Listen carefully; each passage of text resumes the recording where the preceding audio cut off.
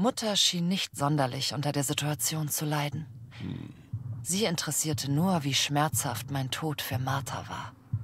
Mich nicht mehr da zu haben, muss eine große Erleichterung für sie gewesen sein. Schließlich war es für alle besser, dass ich gestorben war. Und es war auch besser für mich, dass alle das dachten. Aber die Schuldgefühle begannen an mir zu nagen. Ich hatte furchtbare Albträume.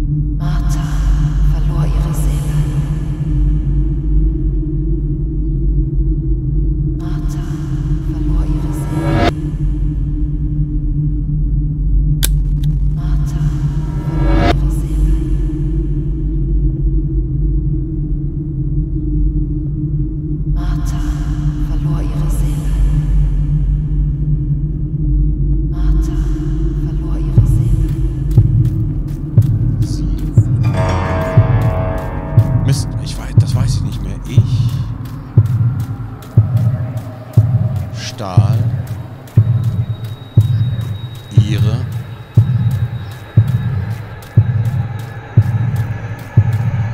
Existenz. Nein! Ah, verdammt. Na gut. Wäre gravierender gewesen. Aber ist ja nur die Identität, das ist ja okay. Ich stahl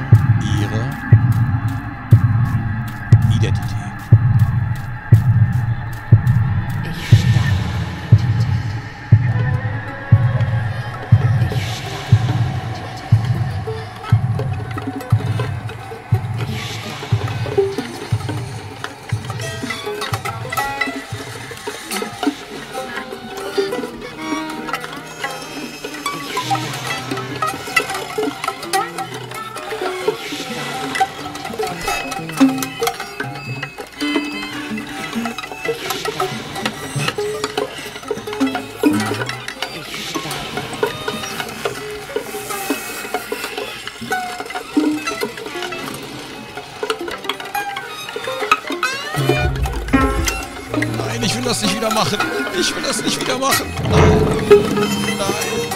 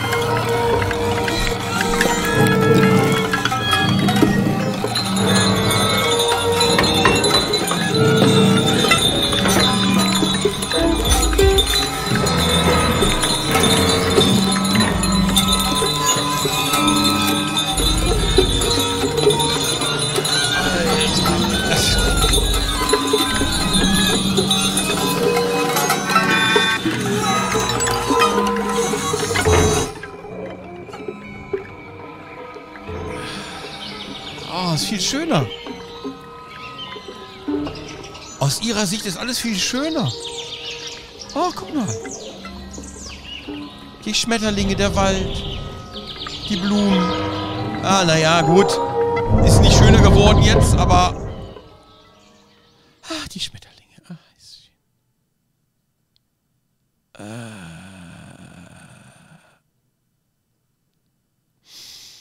Ja, nun.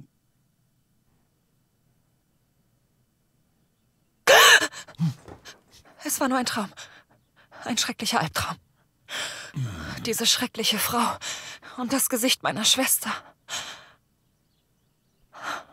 Ich wünschte, das alles wäre nur ein Traum. und meine Schwester würde in ihrem Bett schlafen. Stattdessen ist das hier die Wirklichkeit. Und ihr Bett ist leer.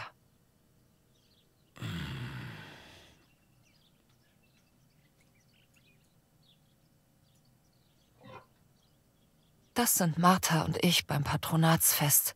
Das war erst vor ein paar Monaten. Und jetzt?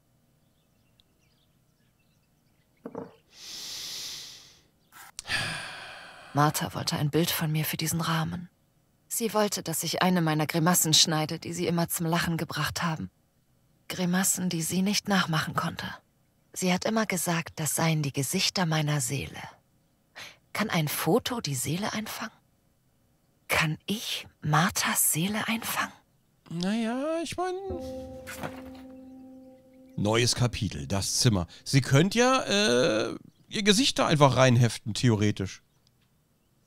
So, Space, interessante Punkte. Guck mal, da unten ist wieder Tobi. Da ist der Tobi wieder. So, der wühlt ja gerade ein paar Snacks zusammen.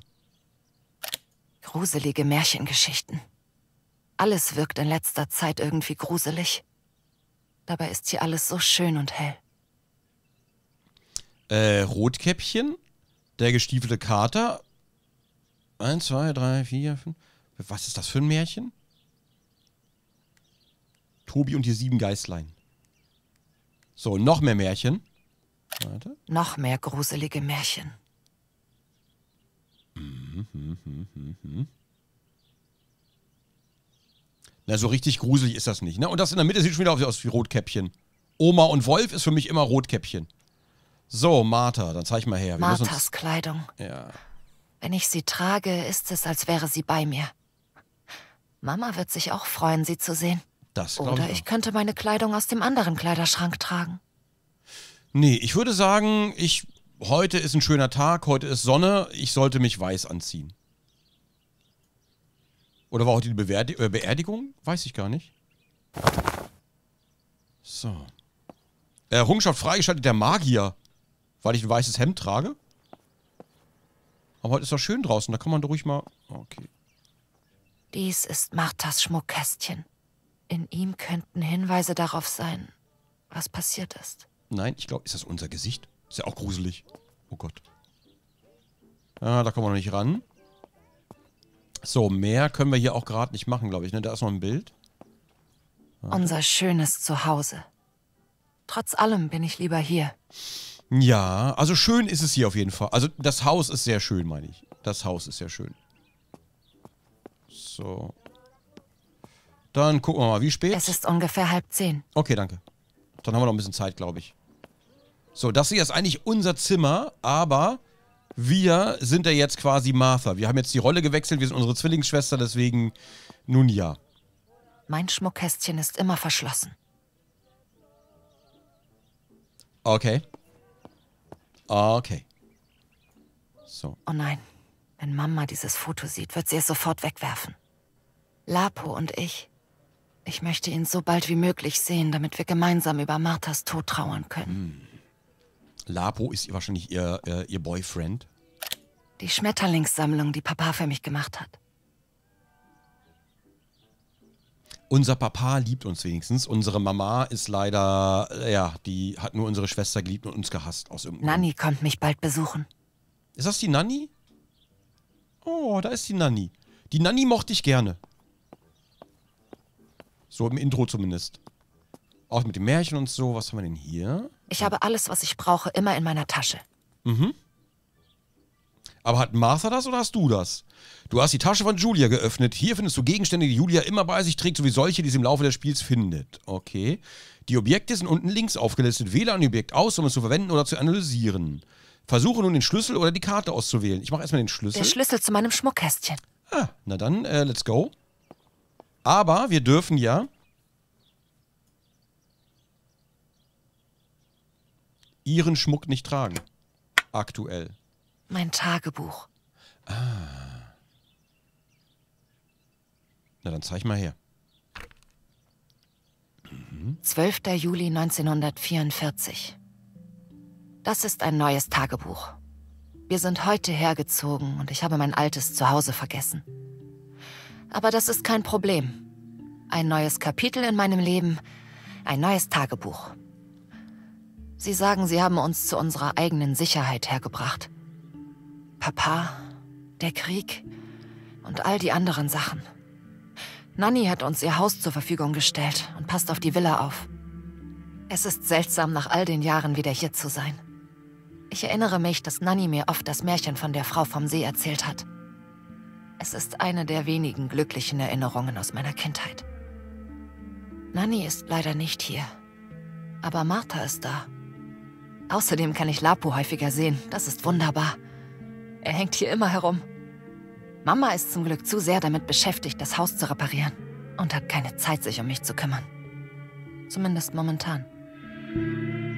Ich finde es schön, dass hier wirklich alles, alles verlesen wird. Finde ich echt schön gerade. 16. Juli 1944. Mhm. Der Wald hat etwas Unheimliches an sich. Jedes Mal, wenn ich am See bin, habe ich ein seltsames Gefühl. Vielleicht ist es die Legende der weißen Frau, die mir Angst macht. Irgendetwas stimmt mit mir nicht. Erst spüre ich, dass jemand anwesend ist. Und dann habe ich das Gefühl, mir das nur einzubilden. Aber egal, ich will ein paar Aufnahmen machen. Ich habe keine Angst. Ich würde eher sagen, ich bin ziemlich aufgeregt. Ich habe einige Dinge mit Martha ausgemacht.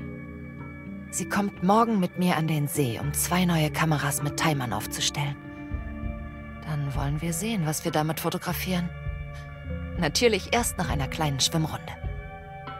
Um ehrlich zu sein, mag Martha Fotografie nicht so sehr. Und seit kurzem geht sie auch nicht mehr schwimmen. Aber sie verbringt gerne Zeit mit mir und ärgert mich. Wenn ihr dann langweilig wird, verschwindet sie in ihren Büchern und ich mache mein eigenes Ding. Es fühlt sich einfach richtig an, wenn wir zusammen sind. Sie ging also nicht mehr schwimmen, so gerne. Verstehe ich, verstehe ich.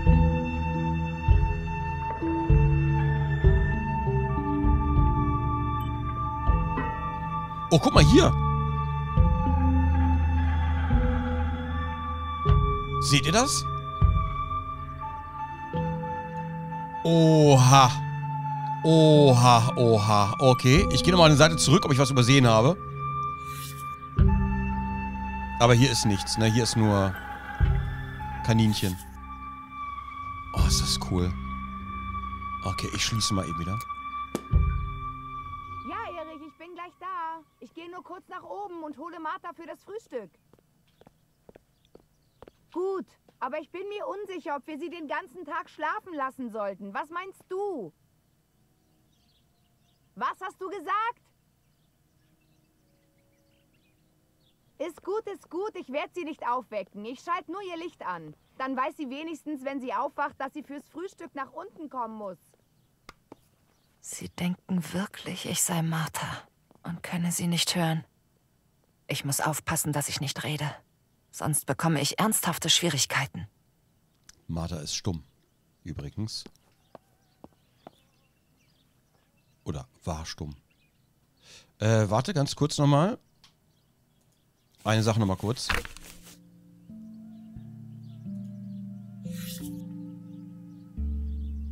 Äh, ja, gut. Ja, das sind Augen. Ja, das sind Augen im, im Stall, im Kaninchenstall. Böse Augen. Aber. Ach stimmt, taubstumm müsste mal sein, ne? Wenn wir nicht hören können, wenn wir auch nicht hören können und so, die denken, die Master können sie ja nicht hören, dann sind wir taubstumm auf jeden Fall. Okay, ich würde da gerne ran. Aber der passt nicht, ne? Das ist der falsche Schlüssel. Ich brauche Ihren Schlüssel, wenn ich wissen will, was in Ihrem Schmuckkästchen ist. Ja, ja, jetzt beruhig dich mal ein bisschen, ja? Deeskalier mal ein bisschen. Kann ich vielleicht im Schrank nochmal gucken oder können wir uns... Ich bin bereits angezogen. Du könntest dich auch mal umziehen, ja? Du hast das Hemd schon ein bisschen voll geschwitzt. Was liegt da unten? Sind das Tabletten? Ich höre Musik. Ich glaube, da liegen Tabletten, ne? Oder sowas. Oder sind das Filmrollen? Aber wir waren ja diejenige, die gerne fotografiert hat, ne? So. Äh, okay. Wie kriegen wir das denn auf? Was, haben wir noch irgendwas anderes im Rucksack? Wir hatten doch noch die Karte zumindest. Dass wir mal gucken. Ja, ja, ich erinnere mich. Ja, ja. Space zum Ranzoomen. Auch daran erinnere ich mich wieder. Ja, ja, na gut. Das, äh, und hier ist der See mit der Insel in der Mitte. Und der hat diese sehr interessante Geschichte. Okay, schließen. Ich schließe erstmal. Ich würde wahnsinnig gerne an das Schmuckkästchen meiner Schwester. Ich gehe einfach.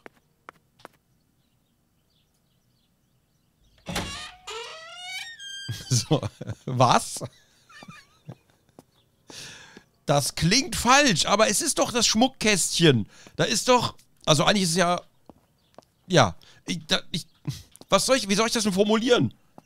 Es ist das Schmuckkästchen und ich will da ran. Leute. Ich will da. Ich will da einfach mal reingucken. Ich will die Geheimnisse des Schmuckkästchens ergründen.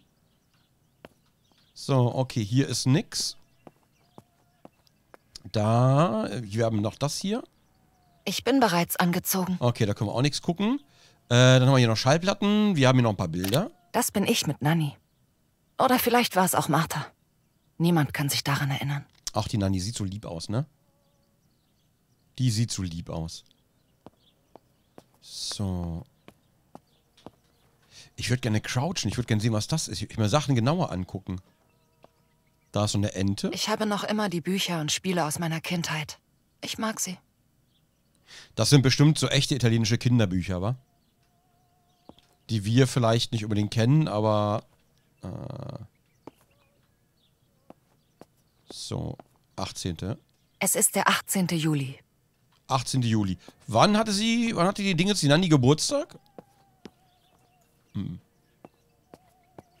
Okay, mehr können wir hier nicht machen. Die Dinger sehen halt so ein bisschen aus, als könnten wir damit Schlösser knacken. Aber ich kann hier halt nichts nehmen. Mit Leertaste vielleicht nochmal schauen. Mit Leertaste ist irgendwie gar nichts mehr. Am 26. Februar. Ach so, dann hat die RL Geburtstag gehabt, nicht in-game. Oh, ja, dann Happy Birthday, ne? Okay, warte. Hier ist die ganze Familie zusammen. Ein sehr seltenes Ereignis. Hm. Okay. Aber ansonsten haben wir alles angeguckt. Wir kommen momentan nicht ins Schmuckkästchen. Irgendwas fehlt. Oh. Mein Kleid, das Martha getragen hat, als sie... Das habe ich gar nicht gesehen. Aber ist da was drin? Vielleicht ein Schlüssel? Ich frage für einen Freund.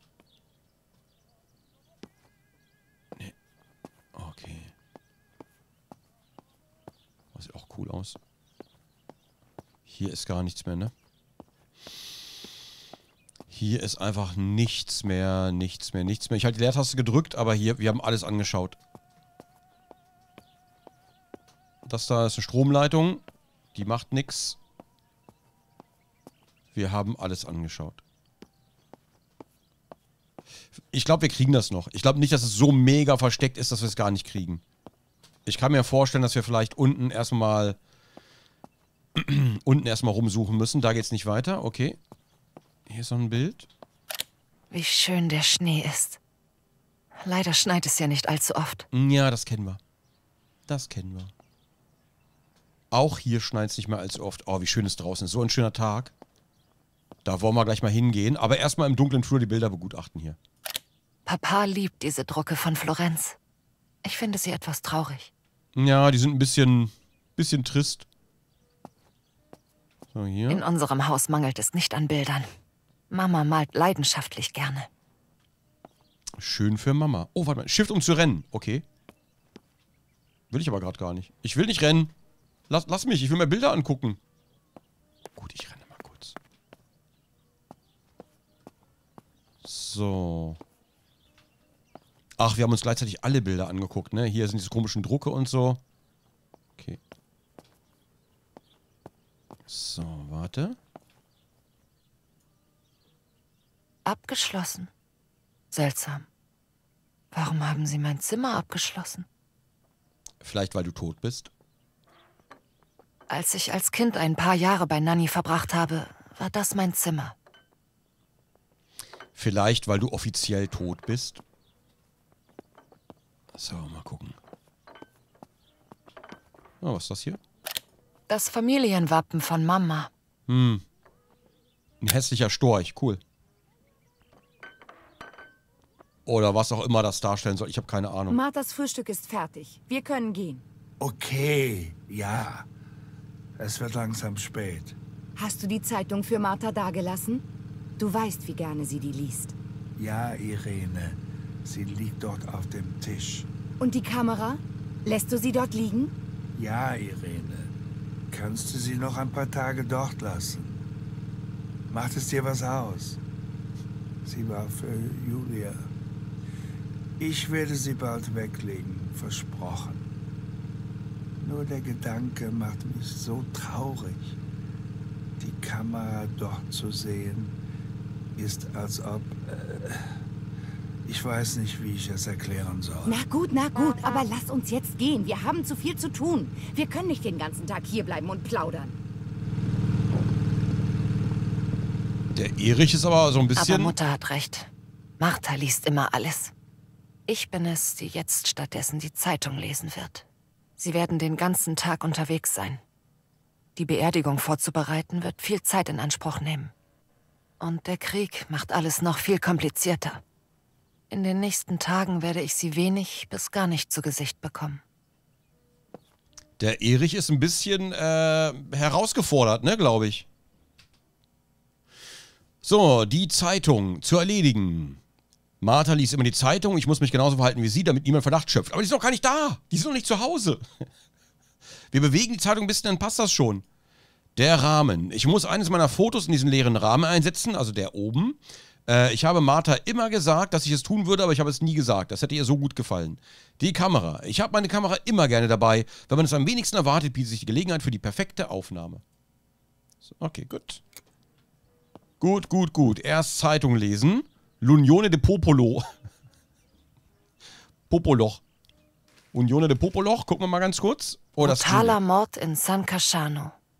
Giulia K., Tochter einer angesehenen Familie, wurde in der Nähe ihres Hauses brutal ermordet. Die Carabinieri ermitteln.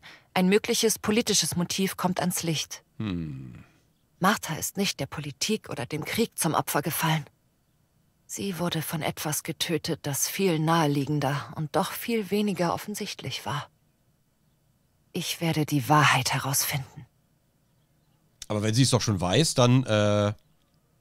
Okay. Brutaler Mord in San Casciano. Okay, ja, ja, ja, Entschuldigung. Julia K., Tochter einer angesehenen Familie, wurde in der Nähe ihres Hauses brutal ermordet.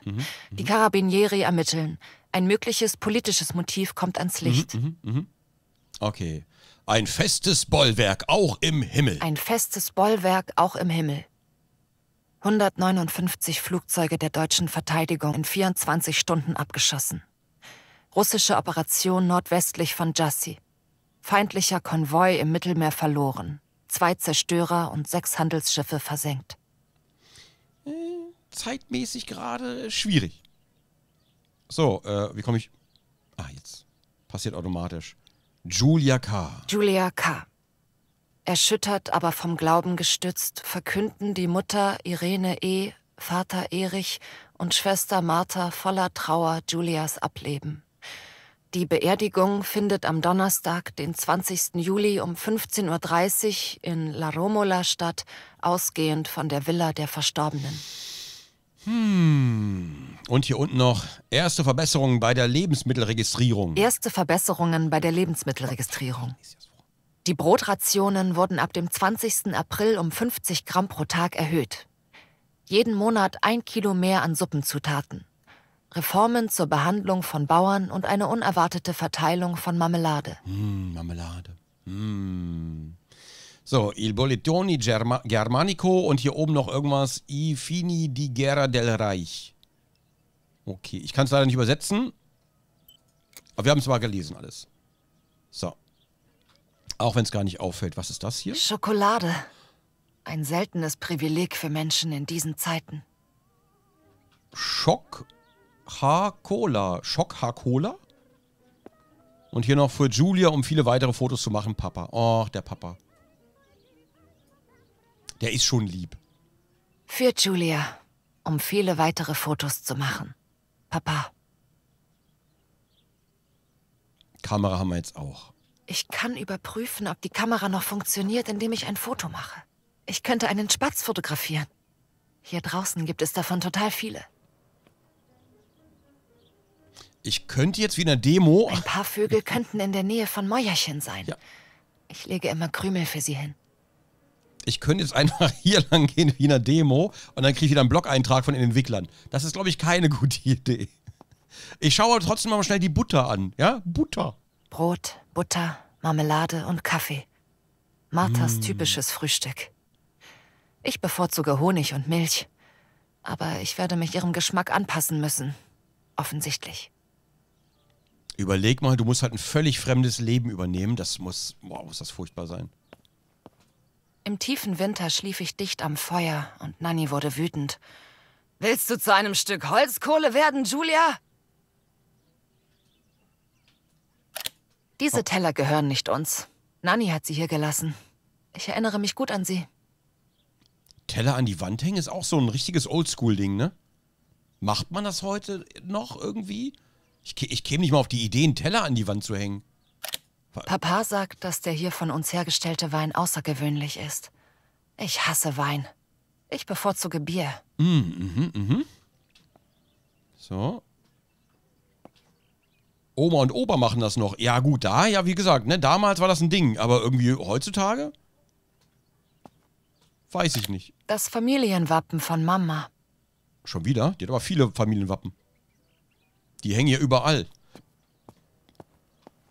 So, mehr haben wir hier nicht, ne? Oder? Ich schaue mich nochmal um, aber mehr gibt es hier, glaube ich, nicht. Okay.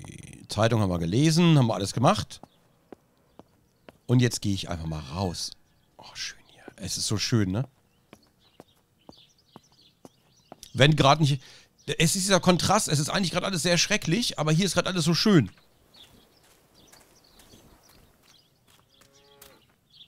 Da drüben hat Gerald irgendwo auch seinen, äh, seinen Weinbauernhof. Ach ja. Da wohnen jetzt Gerald und Jennifer nach Witcher 3. So, okay. Julia kann das Fahrrad nutzen, um sich schneller fortzubewegen. Okay, das ist gut, aber das wollen wir gerade nicht, ne? Ich schließe das mal. Denn wir wollen zu dem kleinen Racker da drüben. So, die Frage ist, fliegt der weg? Wenn ich zu nah dran gehe, dann habe ich verkackt. Aber ich glaube, der ist handsam, ne? Rotkehlchen, glaube ich, oder? Kenne mich nicht aus. Sieht ein bisschen so aus. So. Kamera. Das mache ich alles richtig. Du bist dabei, Julias Kamera zu benutzen. Es ist eine Rollei-Cord von 1940 mit 120 mm Film. Du wirst sie benutzen, um während des Spiels Fotos zu machen. Einige Fotos werden versteckte Elemente enthalten, die die Geschichte des Spiels voranbringen. Während du die Kamera hältst, erscheint ein Symbol, das Punkte von fotografischem Interesse anzeigt. Dieses Symbol erscheint und wird deutlicher, je näher du dran bist. Drücke E, um die Kamera und alle montierten Zubehörteile zu sehen. Okay. Du hast noch keine Kameraskins. Fre Was? Du hast noch keine Kameraskins freigeschaltet. Base. O- Okay. Okay, Entschuldigung. Ich, ich stoppe die Betrachtung instant. Das. Immersive. Entschuldigung. Suche das Motiv, das du fotografieren möchtest und drücke hm, um fortzufahren und oder drücke Q, um den Kameramodus zu beenden. Okay. Ich glaube, wir haben unser Motiv. Du bist dabei, dein erstes Bild aufzunehmen. Um die Simulation zu vereinfachen, zeigt die Bildvorschau die Einstellungen an, während du diese an der Kamera änderst. In der Realität wird das Bild des Suchers durch das Sekundärobjektiv gesteuert und reagiert nur auf den Fokus. Okay. So, da sind wir schon dran. Ich würde aber vielleicht ein bisschen mehr grün, ne? Nicht den Vogel nur zentriert lassen, sondern vielleicht auch ein bisschen grün. Äh, Motiv erfasst unscharf. Q und E ist Neigung.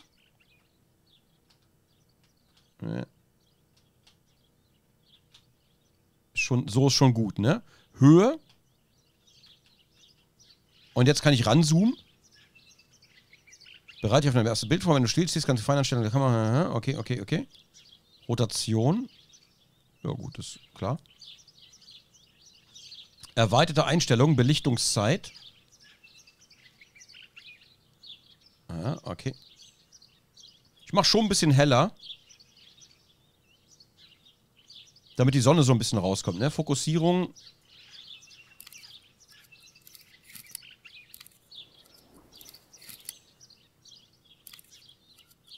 So, Motiv erfasst. Versuche doch ein Foto von einem Spatzen zu machen, um die Kamera zu testen. Ja, ja, ja, warte. So, das habe ich ja gemacht. Extras. Achso, hier oben noch. Wir haben nur einen Film. Einstellungsfeld ausblenden. Okay. Nein! Nach dem Schließen dieses Fensters stellst du die Kamera ein und drückst dann Space, um in den Aufnahmemodus zu gehen. Okay, warte. Ich würde gerne mit ein bisschen mehr Himmel, ne? So. Ein Stück von Himmel. Und ich warte vielleicht, bis der, bis der wieder zu uns guckt.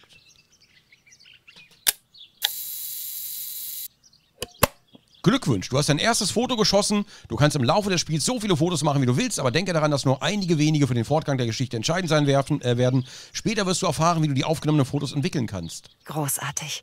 Ja. Ich habe das Bild gemacht. Jetzt geht es direkt in die Dunkelkammer im Keller, um es zu entwickeln. Oh, ich bin mehr als eine Hose. Das irritiert mich.